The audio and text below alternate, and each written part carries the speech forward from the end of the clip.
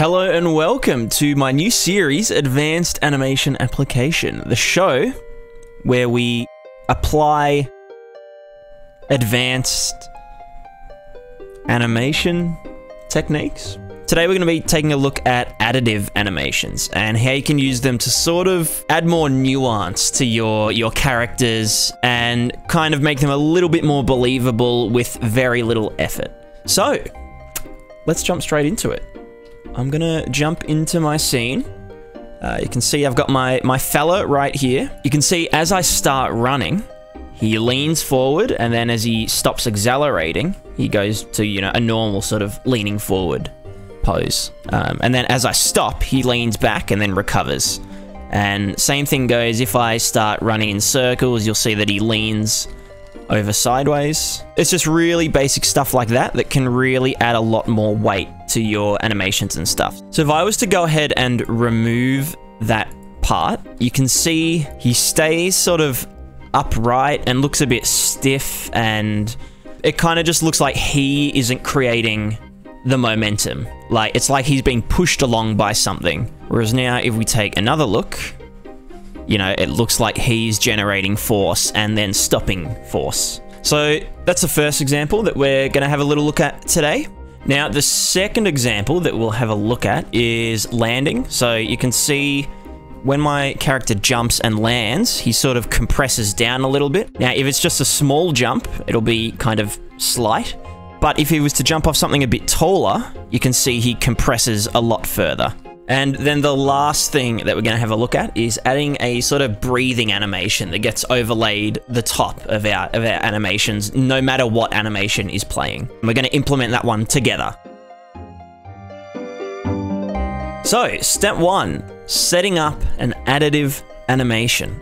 So if we look at our acceleration leaning poses, so I'm just using some of the animation poses uh, from the ALS Advanced Locomotion System which is available for free on the marketplace. So I highly recommend checking that out.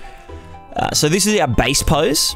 And then there are poses that are sort of variations of that. And there is also a pose that leans left, one that leans forward, one that leans backwards. You get it. And then something else that you'll need to do is make a duplicate of the base pose. And so it will just be sitting here like this. So this first technique is about using additive poses to overlay over the top of your animations and stuff. So if we go into our base pose or our master pose, you don't need to actually change anything on that. But when we go to our additive poses, like the leaning right additive pose, you'll need to scroll down here and you'll need to go additive anim type. And we're going to do this in local space as opposed to mesh space. But then in the base pose type, you're going to go selected animation and you're going to select your base pose. And so what this is telling your animation or your skeleton is my base pose looks like this, and the, the additive pose looks like this. And so this has a specific transformation that's required to get from this position to this position. So if we were to then use this transformation to transform something like this, where, you know, your little stick figure man has his arms up, it would then transform to this, presumably, because we're applying the same transforms here to the pose down here. So all of the poses should be set to additive in local space, select animation, the animation selected is the base pose. Then what we'll do is create a blend space, uh, a two-dimensional blend space. We're going to do it to our Unreal Engine mannequin. I'm just going to call it new blend space. And then what we'll do is we'll look for our poses. So we're going to put our backwards one here, our forward one up here, our left one over here, and our right one over here. And now you can see we can blend between all of our leaning poses and, you know, have combinations of them and all that good stuff. And so in our axis values, we're going to set this from negative 1 to 1 and then also negative 1 to 1 in the vertical axis. So then if the acceleration is 0, then he'll just be standing up straight. You know, we don't want him to be doing this when you're standing still. Uh, now, another cool thing when you're working with additive animations is you can, here we go, preview base pose. So we can put any animation here. So I can go to my run animation. And we can grab this run animation and then we can preview what these poses look like when played over the top of the animation. And so this is a really good way to check if your additives are actually working in the way that you intended them to work. And I almost forgot to mention, we're going to name the horizontal axis left right lean, and we're going to name the vertical axis forward back lean. And another thing that you might want to do is to set an interpolation time. So this will, if I was to snap from here to here, it will take some time to get from one to the other. So now all that's left to do is to apply this to our animation somehow. I've created a state machine just for acceleration leaning. The only reason I do that honestly, is just to make it look a bit tidier. You can access a blend space out in the open and put that in there and, you know, put our parameters into here. For the sake of this video, we're going to do it out in the open in the anim graph rather than obscuring it. So we've got our blend space, we plug it into an apply additive node. The base is wherever you want to apply this animation. So maybe, maybe you might want to apply this animation at the very end of your chain so that it plays on top of your attack montages or something. Or maybe you want to apply this before your foot and, and spine inverse kinematic solvers and stuff like that. So it's really up to you where you apply this. Uh, you'll have to use your own discretion for that. It's all set up and ready to go. Now all that's left to do is to get these values. so how do we actually calculate when a character is accelerating, not just moving, but accelerating in a direction. So I'm going to use the calculation from the ALS session, um, just because it's very robust and it does exactly, you know, what I need it to do. uh, you know, don't don't fix what ain't broke. So essentially, what it's doing is at the end of each sort of calculation, it sets the current velocity as the previous velocity, and then it does another cycle, and on the next frame, it will calculate the acceleration using the current frame's velocity and the variable that we set here. And then it divides it by delta world seconds, and that's how we calculate acceleration. And then after that's done, you know, it will set this as that. And so it just sort of creates this perpetuating cycle of current frame minus previous frame, you know, gives us acceleration per frame. And then so that acceleration gets used here, it gets dotted against the current character's velocity, and that determines whether or not, you know, he's accelerating or decelerating. I'll leave this up on screen, you know, if you want to do this yourself. Uh, and basically what this does, if I was to print this value, so if I was to only move upwards, then you'll see this X value goes up to 1, and then as I stop accelerating, goes back down to 0. And then when I stop, that'll go to negative 1 and then to 0 again. Uh, and that corresponds to these leaning poses that we've set up. And so with this lean XY value that we get at the end, what we do is we get lean XY. I'm going to break this into these ones. Uh, and then the X goes into the forward back lean and the Y goes into the left right lean. And now if we have a look, we get these forward leaning and backwards leaning and also sideways leaning. Super, super awesome. So that's the first example out of the way. Now we're going to move on to the landing animations and making them more compressive when the, the landing velocity is greater. So the way that I have my landing animation set up is that I have an event in my AnimBP. So a cool thing about state machines in Unreal Engine is that you can specify an event for a certain transition. So when we go from falling to walk slash run, what we do here is we trigger an event down here called start transition event, custom blueprint event, and it's called additive landing. Now this can be called whatever you want, um, but you will have to remember the name because in your event graph, you're going to recall that by going additive landing. Bam. And then when this event is called, we play a montage. Now this montage looks like this. It kind of looks a bit stupid. I mean, it looks very stupid, but again, it's an additive animation. So the base pose or master pose that I use for this additive is just the Unreal Engine standard A pose. And so what I did was I exported this into Blender, and then in Blender, I animated this little landing loop. So then I right clicked that, I went create, and in montage, and we get left with this. And in here, you know, I can set additive settings, preview base pose, and, you know, we can uh, get walking. And so this is going to play over the top of the walking animation. Now, it looks a bit...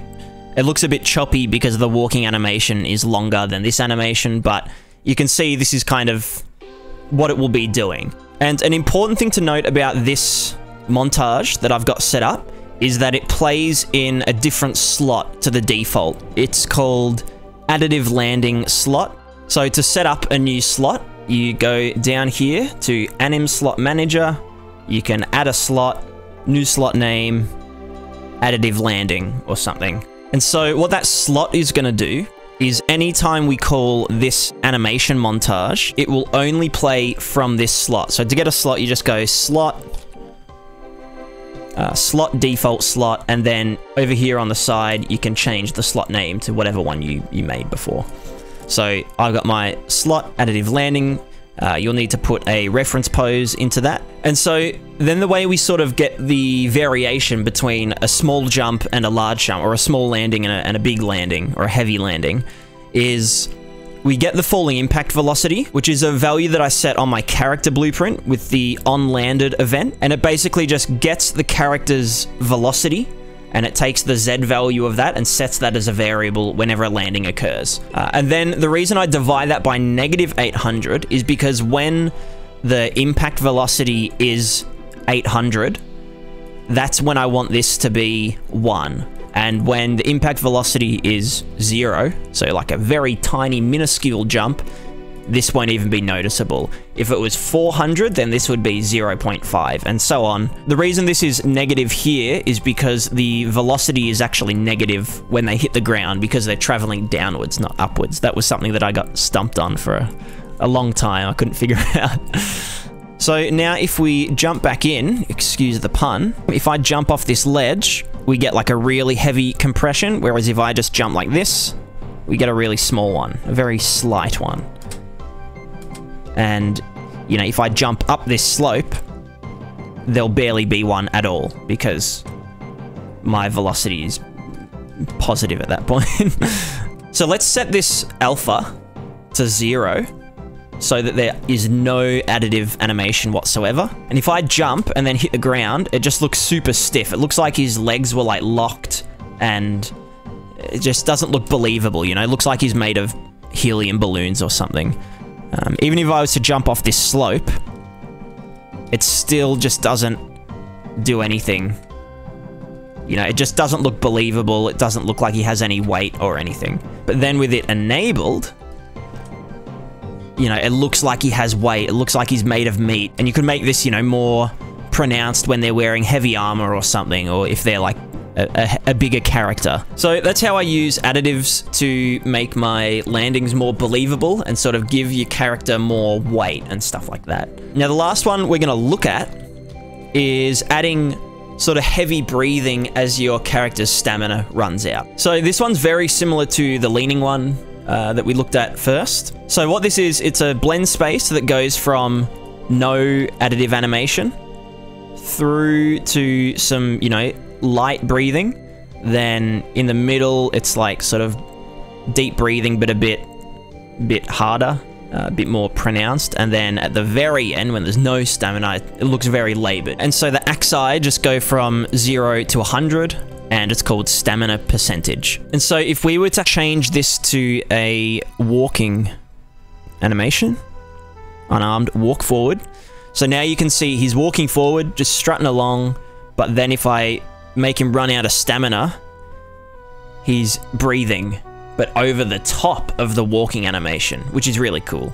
So the way we're going to implement this is we're just going to get the breathing blend space, uh, rather than, you know, using a state machine like I do to keep it tidy. And wherever we want this in our animation chain, that goes into the base. And so the alpha of this is always set at 1 because we've programmed into it the, the neutral state, the zero state, which is here. So we don't actually have to worry about the alpha. It's always going to be at 1. Same with the leaning animations. So now all we have to do is calculate our stamina percentage. So these will be variables that you retrieve from your character blueprint. So, you know, you might have a stamina and a max stamina and you just do it, you know, divide one by the other and you get the percentage. You know, th th this is up to you to figure out. Okay, so now if we jump back into the game and I just keep pressing F, which is my, my self-harm debug button, um, as my chest gets more damaged, his maximum stamina will decrease, and so, you know, he'll become more